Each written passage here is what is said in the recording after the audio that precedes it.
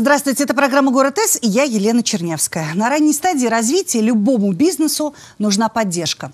Бизнес-инкубатор – это организация, призванная эту поддержку всесторонне оказать. Счастливчикам, оказавшимся под опекой бизнес-инкубатора, предоставляются производственные, информационные, финансовые и другие ресурсы на этапах становления и развития бизнеса.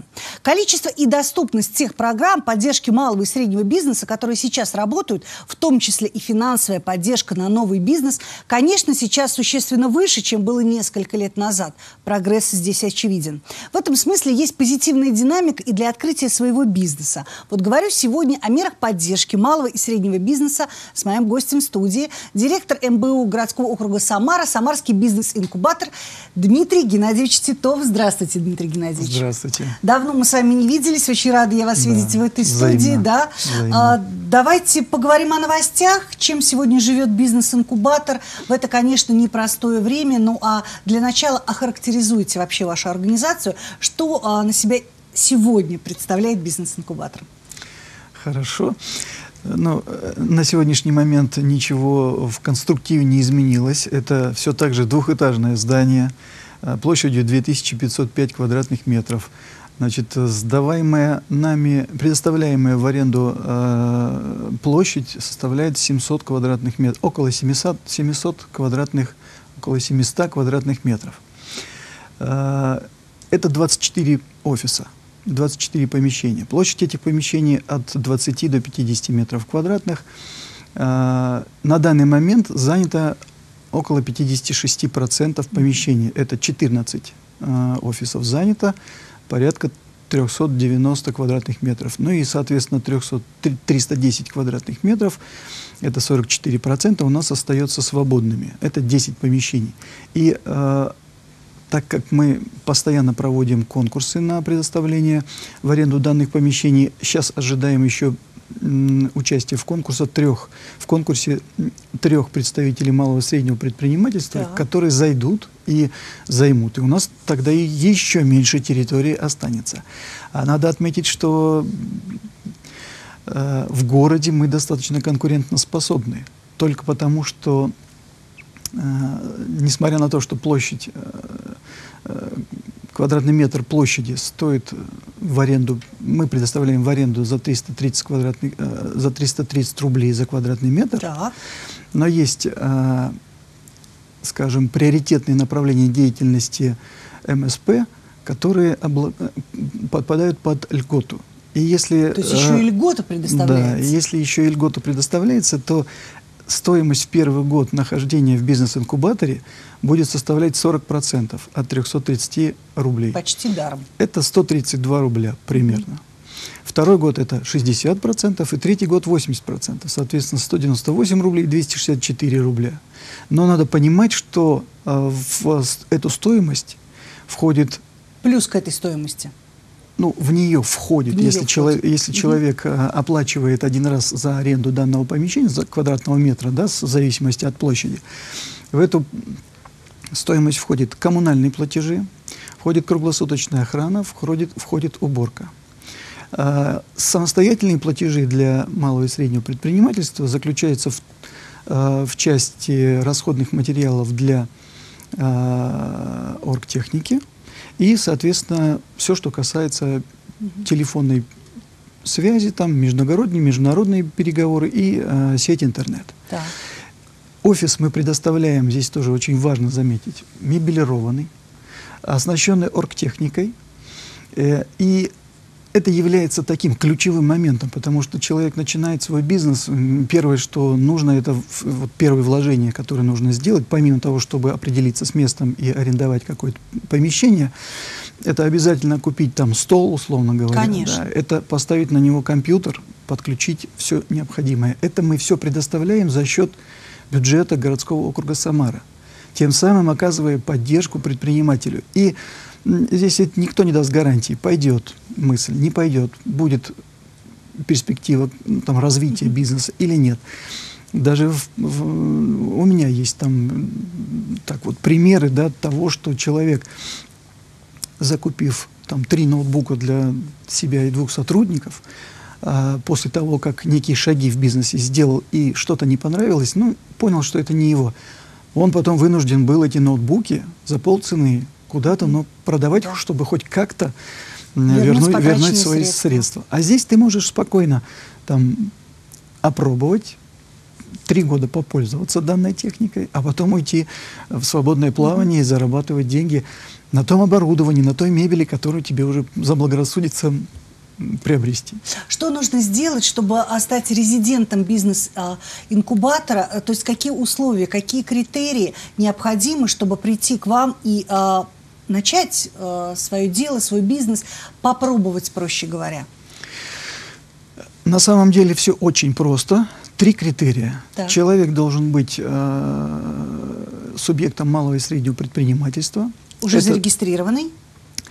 Э, да, естественно, уже зарегистрированный, и при регистрации его, его вносят в реестр. Да. Эта информация доступная, мы всегда эту информацию проверяем, даже если заявка поступает и не указан этот момент, мы всегда можем понять, является ли этот э, предприниматель субъектом малого и среднего предпринимательства. Это нормы 209 ФЗ, поэтому это ключевые, и это наша уставная деятельность, да, мы работаем с малым и средним предпринимательством. Второе, это э, срок существования на рынке данной струк, ну, данного, данного предпринимателя не должен превышать трех лет от момента регистрации до момента подачи заявки. То есть это должен быть там до, э, скажем, трехлетний предприниматель. Mm -hmm. И э, третий момент, он обязательно должен быть зарегистрирован, ну, его бизнес должен э, стоять на учете в городском округе Самара, mm -hmm. потому что мы муниципальное казенное учреждение. Все эти шаги, которые вы озвучили, сделать, конечно же, несложно. Э, их Абсолютно. можно осуществить и уже к вам прийти, но я уверена, что и вы, и ваши специалисты, даже если эти шаги еще пока не сделаны, они направят и подскажут, как это сделать быстро, максимально удобно, комфортно, комфортно ну и, конечно, с меньшими затратами. Я права? Так на практике и получается. Потому что, так как это муниципальное имущество, собственнику этого имущества Департамент управления имуществом городского округа Самара, мы лишь являемся оперативно управляющей структурой. А, мы обязаны а, размещать конкурсы, открытые процедуры на сайте Российской Федерации, там торги.gov.ru, да. это сайт определен постановлением правительства 909. И только лишь на этом сайте мы должны выкладывать данные конкурсы.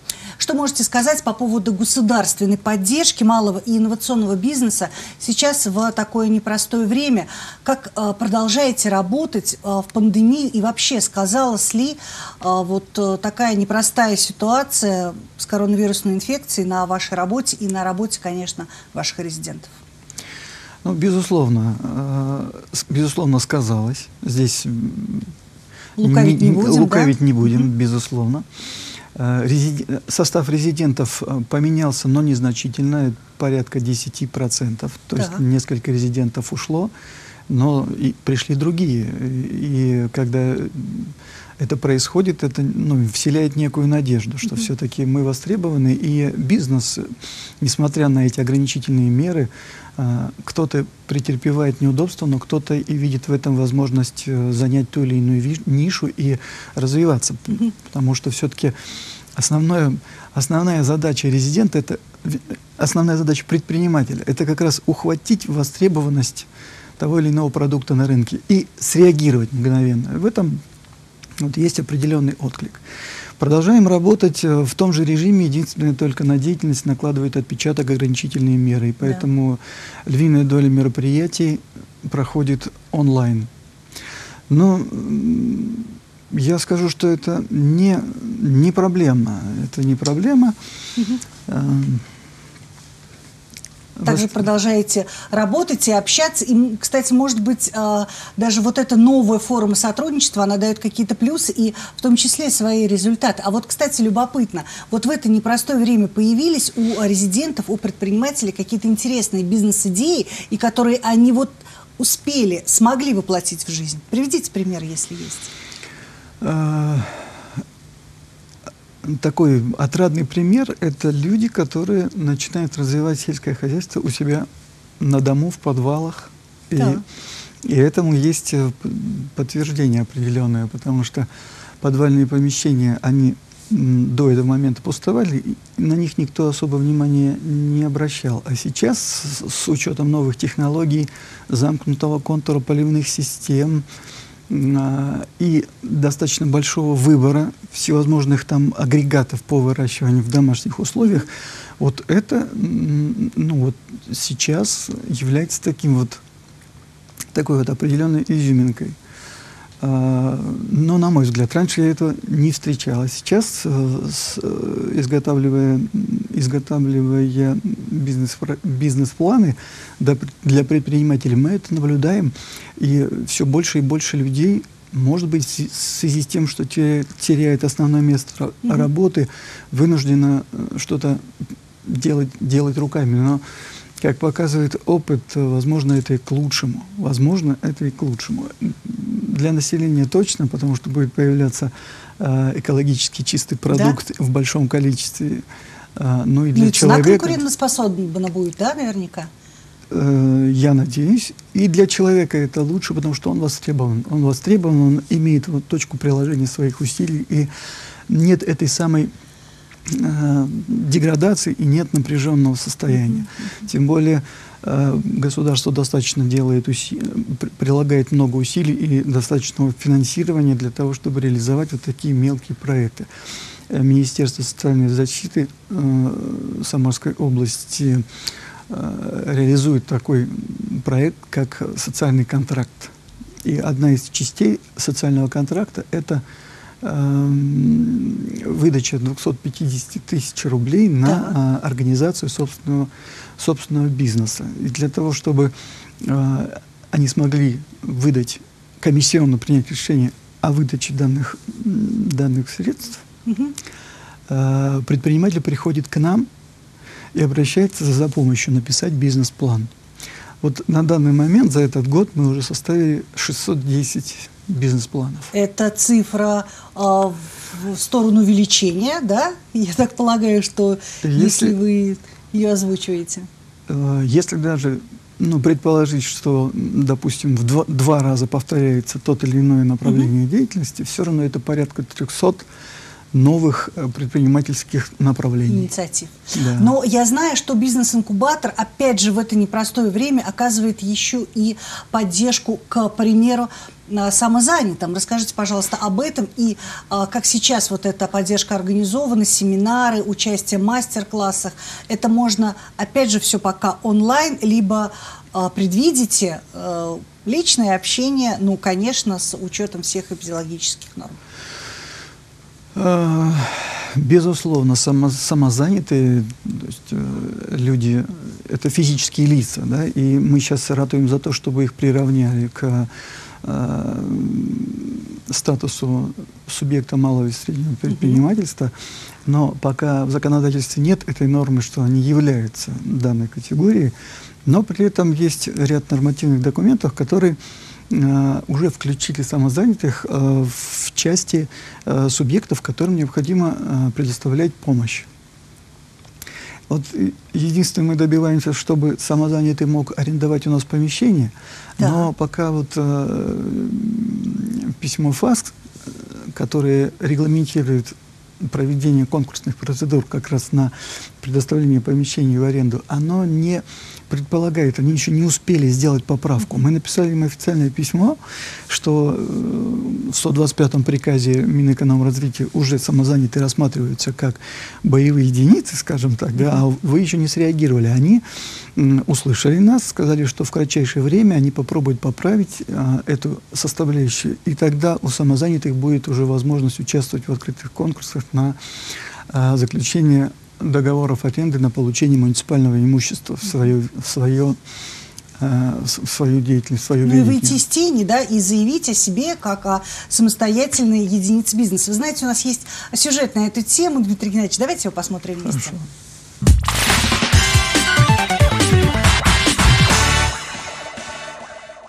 Не требуется онлайн-кассы и полагается налоговый вычет. О плюсах регистрации самозанятых говорят на семинаре в Самарском бизнес-инкубаторе. Эксперты рассказывают участникам встречи, почему важно выходить из тени и платить налоги. Законы меняются, законы сейчас очень строгие, и из-за того, что а, контролирующие органы не стоят на месте, у них очень прогрессивные а, программное обеспечение, они уже умеют находить все там теневые моменты, а выходить из тени нужно.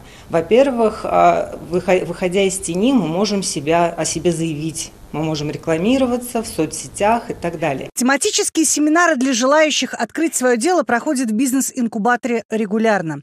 Здесь могут подсказать, как определить свою нишу на рынке, с чего начать оформление, какую систему налогообложения выбрать. Мы в рамках своей деятельности оказываем поддержку малым и средним предпринимателям, э, либо человек, который еще не определился, э, он хочет чем-то заниматься, но пока еще не решил. То есть для таких людей у нас тоже тоже существует поддержка. Мы помогаем выбрать, возможно, какое-то направление, подсказать, помогаем оформить э, документы и старт дать даже э, помощь оказываем в написании бизнес-планов. Подробную информацию о времени тематики можно узнать на сайте учреждения.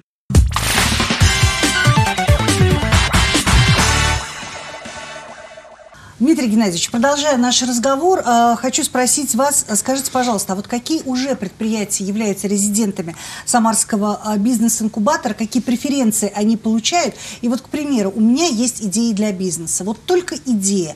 И могу ли я прийти, обратиться к вам, к вашим специалистам, ну, за реально конкретной помощью? Если да, то какой?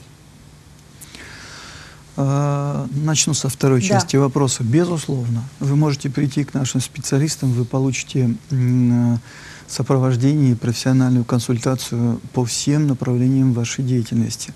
Мы поможем а, составить учредительные документы, мы поможем составить бизнес-план, где будут, будут указаны основные финансовые э, параметры, и будет после получения бизнес-плана у вас будет возможность заявить э, этот бизнес-план для получения, для получения поддержки со стороны да. государства или в иных фондах. Э, мы можем, поможем определиться с организационно-хозяйственной формой, какая лучше для, подходит для вашего бизнеса, с системой налогообложения. Ну, дальше, дальше, конечно, формирование команды – это прерогатива предпринимателей, на мой взгляд, и только. Мы можем советовать, но не более того. Mm-hmm. Вот о всех тех вышеперечисленных услугах, как вы сказали, мы помогаем и бизнес-плану, и так далее, и так далее, и так далее. Это все э, на каких условиях оказываются э, эти услуги? Они безвозмездны, но, проще говоря, бесплатны. Либо все-таки за каждый шаг вы берете деньги. Это очень Нет. важно. Знать и понимать предпринимателю на начальном этапе, чтобы рассчитывать, как говорится, свои силы и возможности муниципальное казенное учреждение и наши сотрудники э, данную услугу для предпринимателя предоставляют бесплатно, безвозмездно. А, уже бюджет городского округа закладывает оплату нашим специалистам, и поэтому мы свою услугу предоставляем бесплатно. Так. Хорошо. Можно ли а, по адресу бизнес-инкубатора зарегистрировать юридический адрес компании? А, расскажите об этом, пожалуйста. Да, да, конечно. Зачастую так и происходит. Если у предпринимателя угу. есть мысль, есть э, э, инициатива, то э, прежде всего он приходит к нам и пробует понять, какой офис мы можем ему предоставить. Да. Если, конечно, есть свободные. Э, после того, как он выбрал, после того, как он выбрал помещение, он э, поработал с нашими сотрудниками на предмет созданию всей, ну, всей, всей необходимой заявочной документации, все, составление всего пакета. И дальше он, получая данное помещение в пользование, начинает реализовывать свою бизнес-мысль. Ну, то есть вы хотите сказать, что реализовать бизнес-мысль, а нельзя ли, к примеру, производство организовать в бизнес-инкубаторе? Но опять же, а это, а где это пробовать, как не в бизнес-инкубаторе? Ну, э, статус, вы знаете, до сих пор ведутся э, некие суждения, что же, ну, как вообще определить статус бизнес-инкубатора? Конечно. У нас это все-таки офисные помещения. По большому счету это офисные помещения, замкнутый контур, э, бытовая вытяжка, никаких там дополнительных мощностей электричества туда не подведено. Поэтому реализовать производственный процесс, наверное, вряд ли удастся. Вряд ли удастся. Но если человек придет, мы посмотрим, в чем он заключается. Mm -hmm. Если вот как раз в той мысли, как, когда, например, замкнутый контур какой-то, да, там и небольшие там э, небольшие какие-то... Ну, может быть, исследования ну, какие-то Допустим, швейная, швейная да, мастерская да. какая-то, да, где по большому счету нет большой пыли, больших там каких-то нагрузок. Ну, почему нет? Ну, в любом Я случае можно, можно все а, согласовать, договориться, да, все люди живые, адекватные, и, по крайней мере, на контакт а, уж точно вы, ваши сотрудники, всегда идете. Скажите, пожалуйста, вот сколько времени компания может находиться в бизнес-инкубаторе и когда начинают зарабатывать ваши резиденты? Вот расскажите, пожалуйста, сейчас о тех компаниях, которые располагаются в Самарском бизнес-инкубаторе, и вот от и до, ведь бизнес-то призван в первую очередь зарабатывать, согласитесь. И вот когда этот процесс уже начинается, и когда э, бизнесмены понимают, что все, я могу идти в свободное плавание, я могу идти и зарабатывать. Это очень риторический вопрос.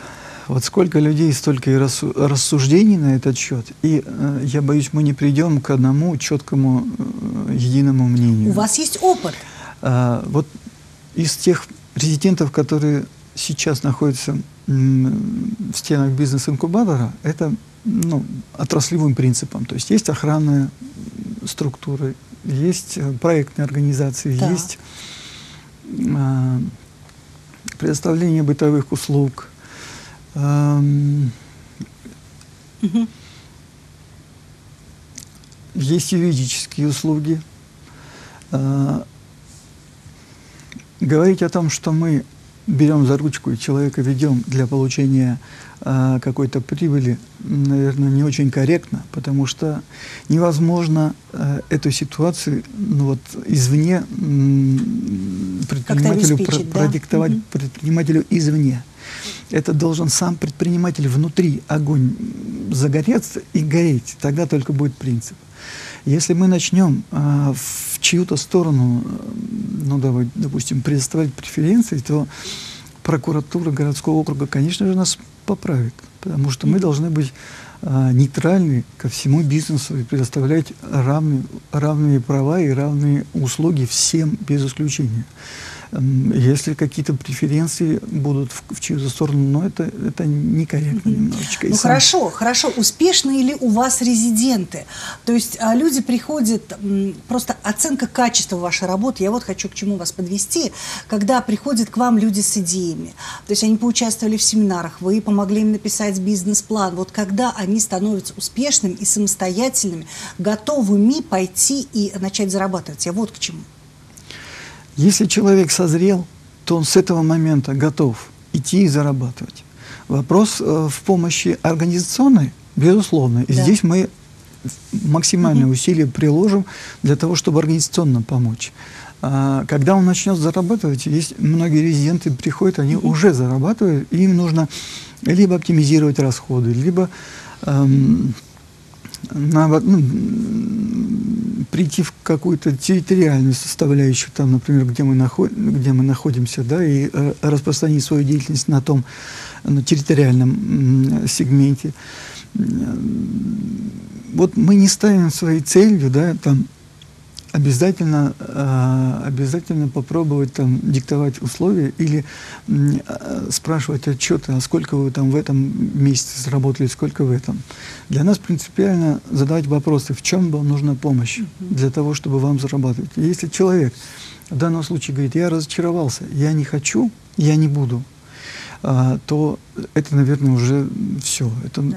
бессмысленно уговаривать, бессмысленно продолжать. Если человек приходит и говорит, у меня все нормально, все идет, но вот мне здесь помогите здесь. Мы, безусловно, в этом процессе участвуем и помогаем адресно здесь и здесь, где, где попросил человек оказать помощь.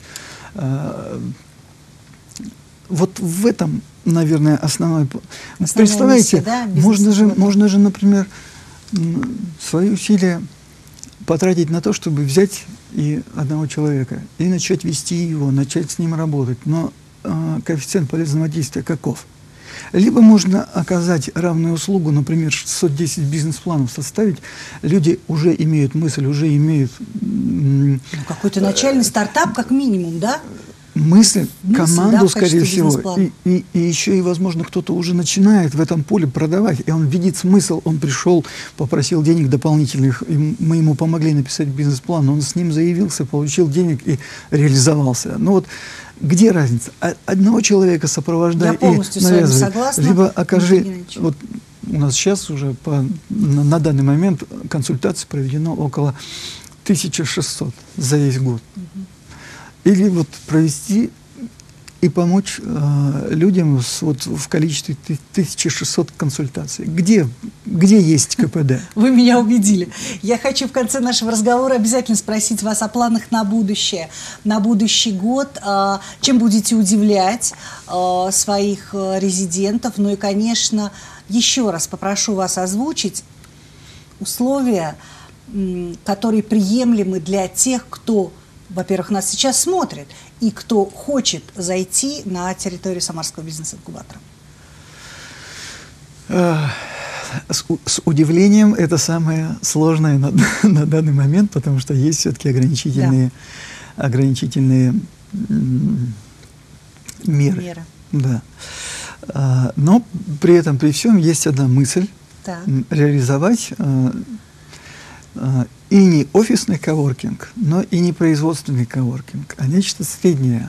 В, в чем это все будет заключаться? Например, у малого и среднего бизнеса достаточно вос, востребована, например, бьюти, бьюти-сфера. Да? Там э, многие оказывают э, на дому услугу по там, татуажу, макияжу, ресницы, ногти, педикюр, маникюр и так далее. Ну, вот. бьюти-сфера, вы верно сказали, да. Эм,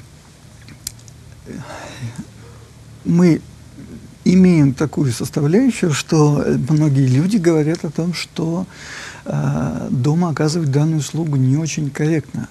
Либо дети подрастают, либо родители ну, в общем, просят, и, просят конечно, внимания, да. либо муж или жена там ворчит, что здесь кто ходит, mm-hmm. здесь что-то. Это все неудобно. И поэтому мы решили пойти по такому пути. Мы создаем рабочие места в виде там педикюрного кресла, маникюрного кресла, массажного кресла.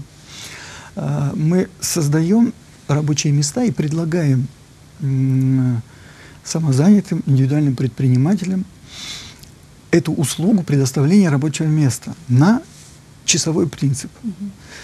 А, у кого-то, например, из самозанятых, ну, это, знаете, много плюсов, да, потому что не надо целый день платить за коммуналку, ну, где-то там, целый день арендовать конечно. кресло где-то. Ну и личное в время, да?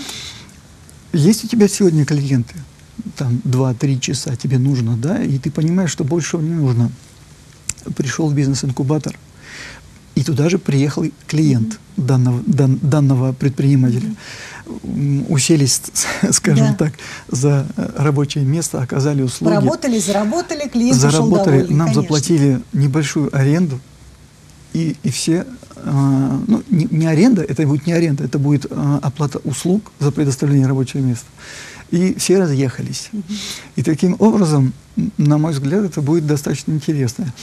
Потому что сколько я встречал людей, которые недовольны условиями оказания, например, массажных услуг, да, там где-то в подвале, где-то в каких-то закутках. Это все не очень хорошо. Если будет хорошее место и хороший стол массажный, хороший мастер, который там эту услугу окажет не дома, там на, на, на, на, на диване, на, коленках, на да? коленке, на диване, да, да. придет к нам и на, за, за профессиональным столом окажет ту самую услугу.